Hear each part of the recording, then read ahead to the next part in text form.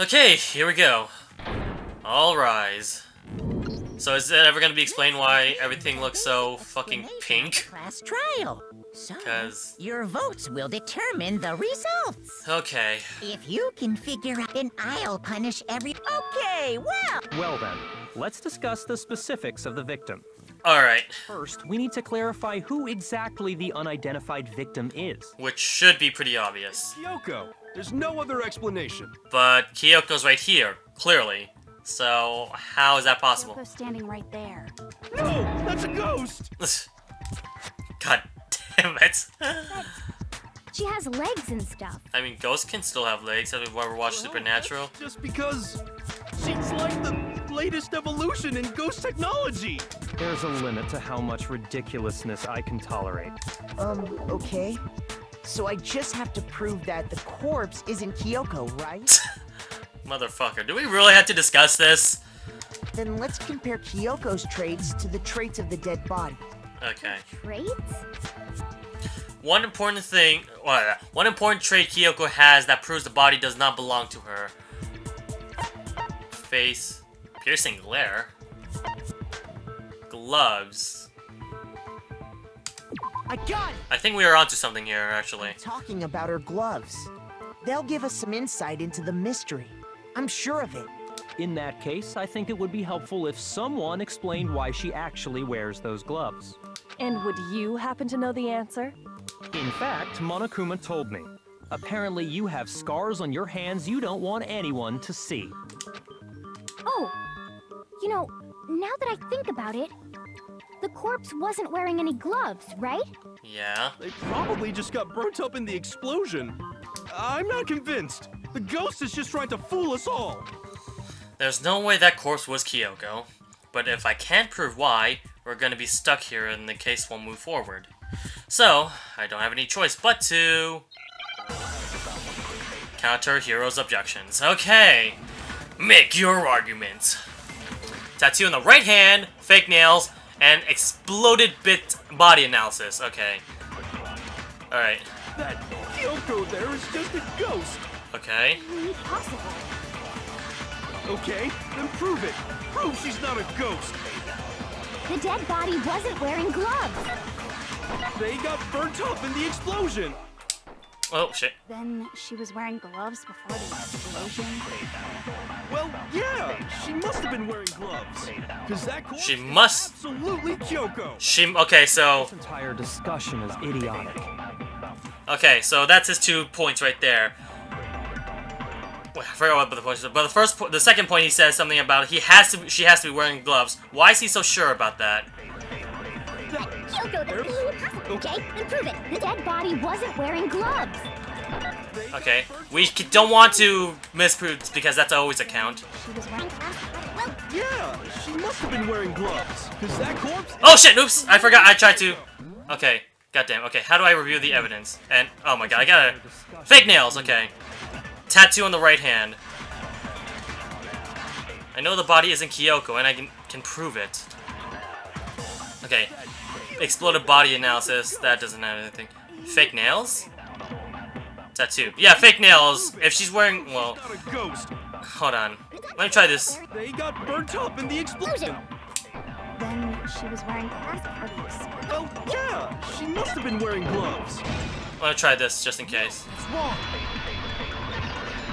Okay, yeah, because I, I forgot what kind of gloves uh, uh, Kyoko was wearing. There's no way the corpse was wearing gloves. Because the corpse had fake nails, but I'm not sure if the nails. I, I don't know. I, I think I'm on the right track with this one, though.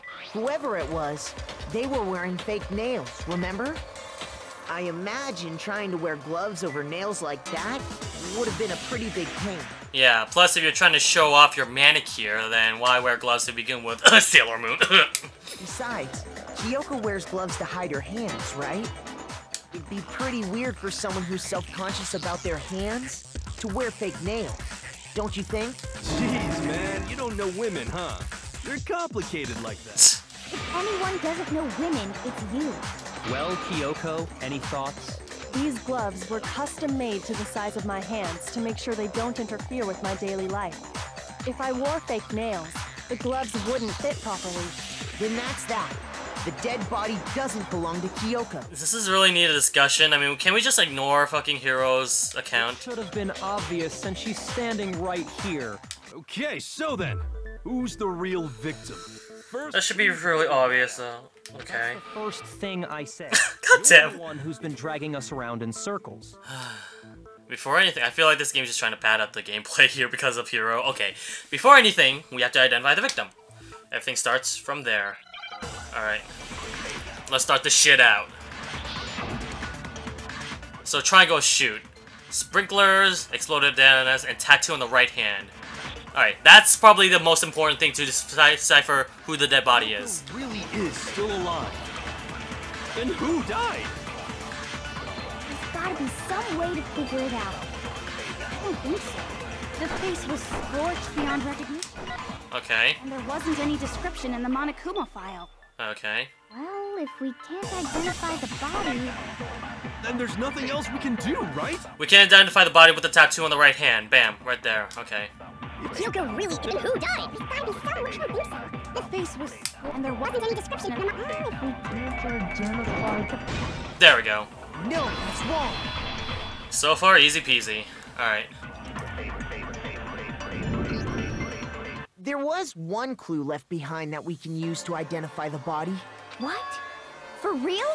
If you're lying, you'll die of. Shut up. An unusual. She's just being stupid. Ignore them. Makoto. Thank you, Aoi. Tell us what you're talking about.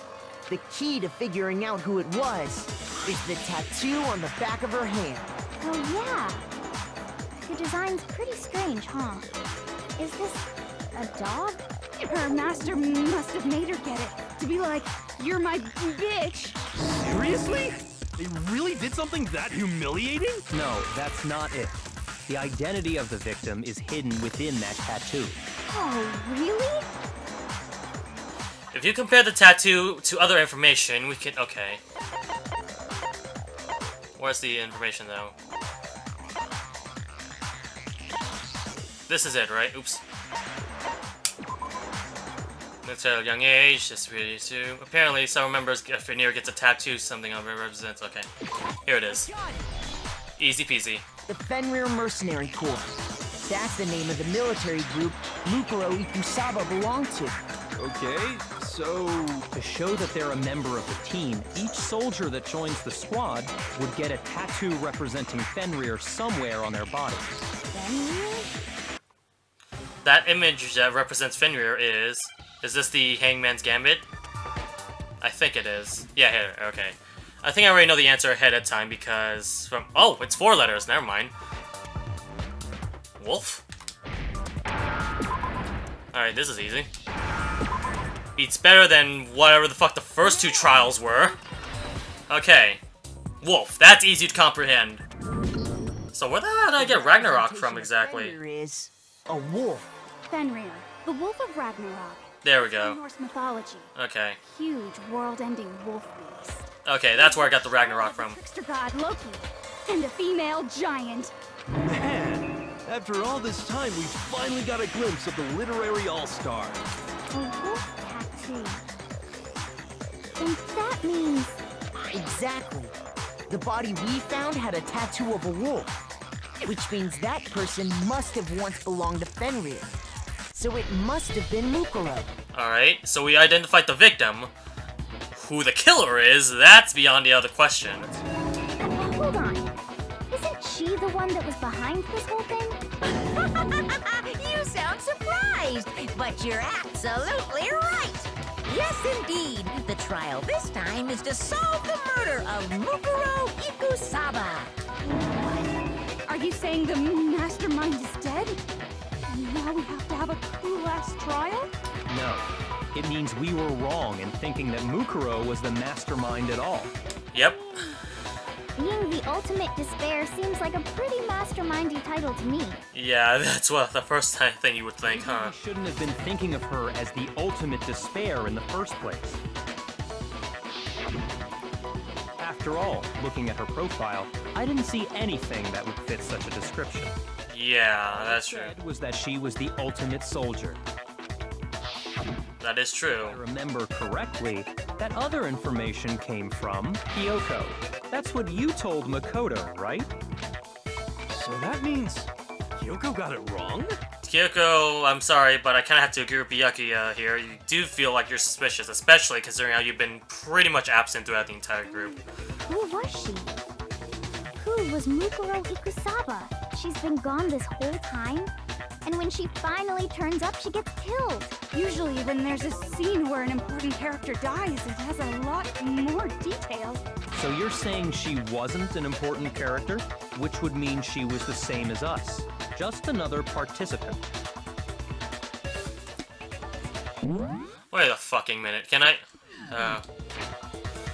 The fu- okay, if she counts as a fucking participant, then she's obviously breaking the one important rule about to a class at class trial. Unless for some reason she wasn't there. I mean, or she was there, it's just... Okay. So for all surviving students. Unless she wasn't a surviving student. What the fuck? Oh, I don't know anymore. Okay. Then who's the real mastermind? That's probably a discussion for the next chapter, but who knows? Been the Hope's Peak Academy headmaster after all. No, the headmaster has nothing to do with it. But how can we trust that? We already know your information about Mukuro was wrong. My information was not wrong. Really? Okay, okay. We're in the middle of a trial right now. Figuring out who killed Mukuro is first and foremost. Please limit all future prattle, chatter, and chit-chat as much as possible. You usually don't interrupt during class trials. This feels like you're hiding something here, Monokuma. Fine. Uncovering the identity of the mastermind will Sorry, I need to adjust the pop filter for a second. This. Okay, there we go. No matter what happens, we will find out who you really are. I stake my family name on it. I have officially decided to completely ignore all such attempts at provocation. Now then, just so nobody's confused, let me state this one more time for the record. The reason we're having a class trial is because a murder among the students has taken place. Hammer that point straight into your big old brain! What you're saying is that both the victim and the culprit are part of the student body? Then, one of us killed Mukuro? Wait, no! There's a chance that there's some mystery 17th person who's been Oh, I wish. along. I wish. Nope. There are only 16 students in total that have been taking part in these events. If she's taking part, where the fuck is she then? Seriously? Then one of us killed Mukuro? Who did it? Who's the killer this time? Get a hold of yourself. We've already narrowed down the list of possible suspects. You know, um, prediction time. I'm guessing. Sounds very far fetched, but if Makoto somehow killed her in his sleep, then we're fucked. But this could be an interesting turn because so far we clearly have almost to no information whatsoever about this and who killed her. We just know that apparently four alibis are done. It could also be a suicide, but. mm. I'm sure you realize who I'm talking about, right, Makoto? Who the evidence points to? Based on what we know, there can only be two suspects, me and Kyoko. Toko Genocide Jack, okay. And the headmaster. I got it! It is true. You've narrowed it down to Kyoko and me, right? Why do you say that? Allow me to explain. Just after nighttime last night, I went to the garden, so I can confirm that at that point, there was no dead body there. The dead body, of course, could have been in another position, but. Mm, Okay, that's what the. taken place after I left the garden. Or someplace other than the garden. That could also be a possibility as well. Hiro, Toko, Hina, and I were in the gym the entire time. The gym? That's right. The four of us were there trying to dismantle Monokuma. The whole time we were very careful not to go anywhere alone. We even went to the bathroom in pairs. All of which is to say, the four of us all have alibis. The only ones without alibis Are me and Makoto. That's why you're able to narrow down the list of suspects. exactly so. So the only suspects now are me and Kyoko. Damn it, I can't let this stand. However, I have to clear my name. Um, I have something I'd like to say regarding the whole alibi thing. Are you thinking of raising an objection? Well, before that, I just want to try and get a better idea of what time the murder took place. Doing that might reveal some kind of clue. Whatever you want. Somebody go ahead and help him out. Me and Byakuya can both confirm that the body wasn't in the garden at... Well, it was after nighttime for sure. I'd say it must have been around 10 o'clock. Alright, so we know the dead body is not after 10 o'clock. Or in between those time spans, maybe. Oh, who knows? So the murder must have happened after 10 p.m. Okay. Then I guess we can say the time frame for the murder was between then and when we found the body? Oh, but what time did we find the body? The one who saw the body first was Toko. 9 o'clock. And she went to go get the... 9 o'clock a.m. Or 9.01. At 9 o'clock, there we go. I got it! The body must have been discovered at 9 a.m., since that's when Toko went to get the pickaxe.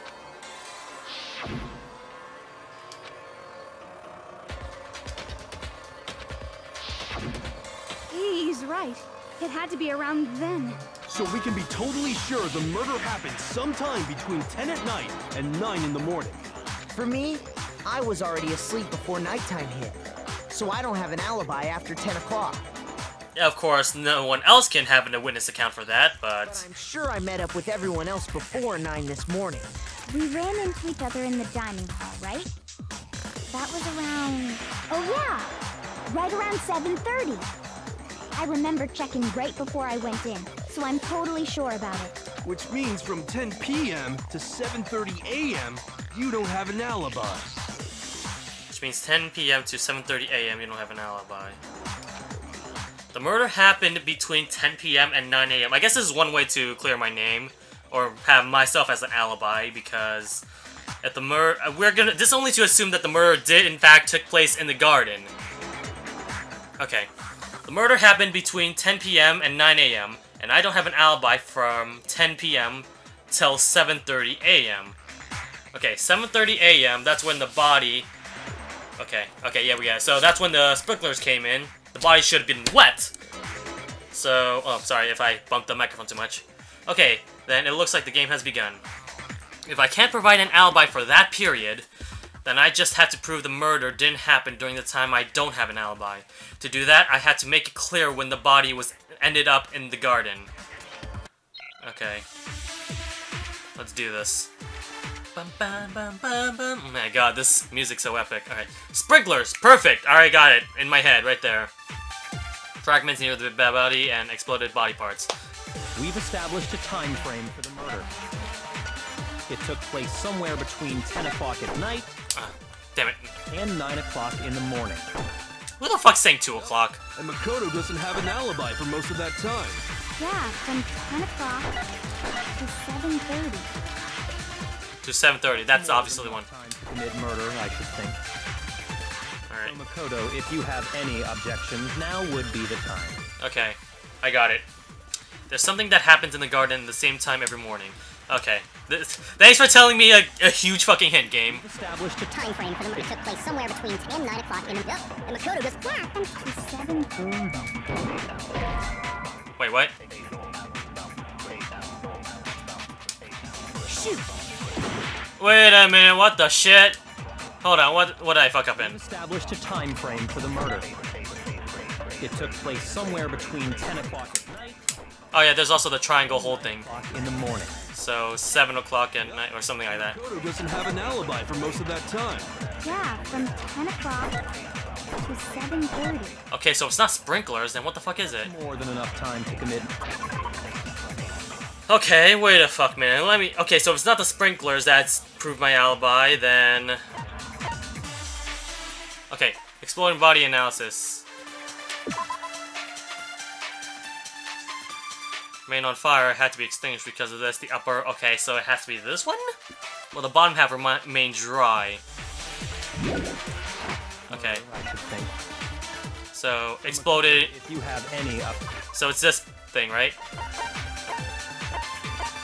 Exploded by, Okay, it has to be this one if it's not the freaking sprinklers.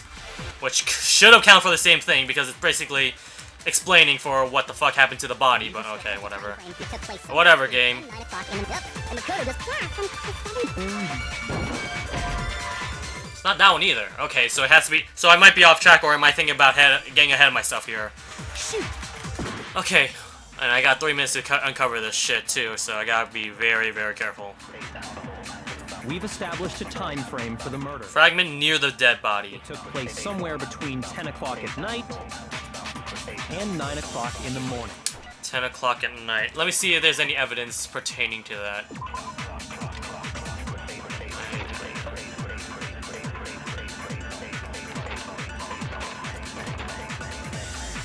Hard to. uh, Okay. Sprinklers. Every morning at 7:30 in this. Okay. We assume that the body had been in the garden before 7:30. It would have gotten wet. 7 a.m. Okay. Makoto wakes up to the morning announcement.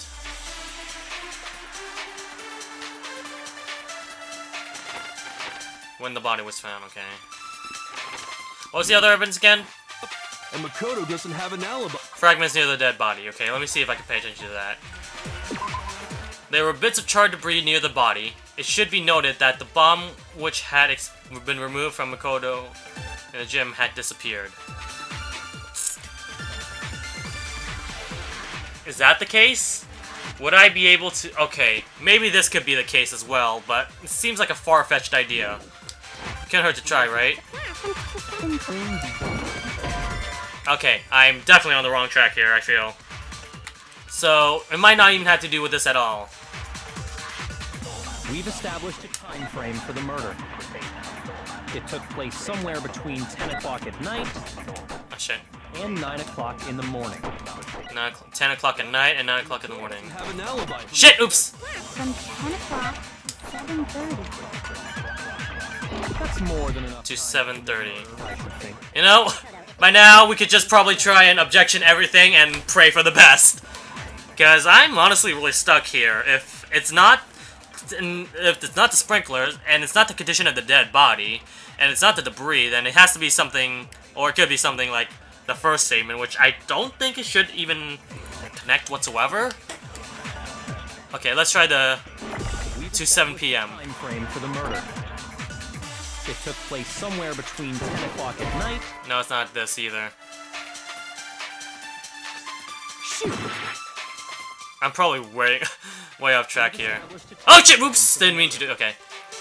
It took place somewhere between 10 o'clock at night and 9 o'clock in the morning. Yep. And Makoto doesn't have an alibi for most of that. From 10 o'clock to 7.30. Yeah, I'm, I'm just basically guessing by now, because I have no clue what the fuck's going on. Okay, let's try this again. Let's get the run back here, guys. Nobody believes me. At least this time it actually makes sense for me to be the accused. Because I'm in the stand here. I'm the one that's kind of being guilty of something. Yeah, that one was Makoto. However, Makoto is not the blackened. Too bad. Okay, so my theory of saying, oh, it might, it has to be Makoto. It may be Makoto because he killed it in his sleep, but it's not apparently, according to Monokuma. So Is is this? yeah, let's give it another shot. I refuse to give up yet. Okay, I can't give up now. Yeah, considering how we have pretty much infinite continues in this in this game whatsoever, so yeah, we pretty much have infinite continues here, so it doesn't really matter if we continuously fail. Alright, sprinklers, exploded dead body, ex- exploded body analysis, and fragments near the dead body. We've established a time frame for the murder. It took place somewhere between 10 o'clock at night and 9 o'clock in the morning. It's not that one. It's not that one. Have an alibi for most of that time. That's the only two then that we could object to, Objections now would be the time. and we can't object it to each other. Established a time frame for the murder. It took place somewhere between 10 o'clock. No, Is it really that one? How does that pertain? Maybe it's saying, no, the murder has to take place after 7.30. That's my guess, I'm guessing. the murder couldn't have happened anywhere near 10 o'clock. It had to have taken place way later. Okay, that makes sense. Although at the same time, I say the sprinkler should have also counterdict what Aoi was saying as well, but well, whatever. So I was on the right track, it's just apparently I was doing it the wrong, unspecific way, even though vaguely enough, it could have also worked as well. Whatever. Makes you say that. Because of the sprinklers in the garden. The sprinklers are set to go off right at 7.30 every morning, right? So if the body had been in the garden before 7.30, then it should have been completely soaked. Oh, hold on. I remember this part perfectly. Okay. The body was wet. Dripping wet, in fact. Sorry, Toko, but you're wrong. I'm wrong? How? Are you saying only the mouth down south was wet? How dare you spew such indecent words! No, I'm saying that the body was wet, but not because of the sprinklers. What do you mean by denying the sprinkler? Are you trying to deny my... Shut the fuck up, Toko. If you really think it was... You... Okay, this is easy. All I have to do is hit Toko with a certain evidence. That should do it. Wait, is this the rhythm game part again? Fuck, if this is the rhythm game part... I could just tell you... Oh! Body analysis! Bottom part was unwet. Fine. I admit nothing. I hate you. No, no, no! I don't know anything! How do I record? Uh... Hold on! Are you trying to blame me? Okay, squares reload. I admit nothing. I hate you. I don't know anything. Hold on. Are you trying to blame me? I admit nothing. Are you trying to blame me? I admit nothing. I hate you. I don't know anything. Oh god. Hold on. Are you trying to blame me? Oh god. Okay, here we go. Final strike. There we go. This should prove it. Bam. Okay. There we go. Fuck that minigame, seriously. Nice rhythm game, but it has no point into having Just remember in this what whatever uh, this area whatsoever. The explosion, and you'll see why it wasn't the sprinklers. The top half of the body was wet, yes, but the bottom half was completely dry. If the sprinklers got the body wet, shouldn't the whole body have been wet? So they only got the top wet? The bottom was completely dry? What a brutal maniac! I'm so sick of her. I know, right? Move on. Yeah. Only the top Oh shit, it's almost 30 minutes. Alright, we'll be right back and we'll explain why the top reason was wet, even though, okay, whatever. Stay tuned for that.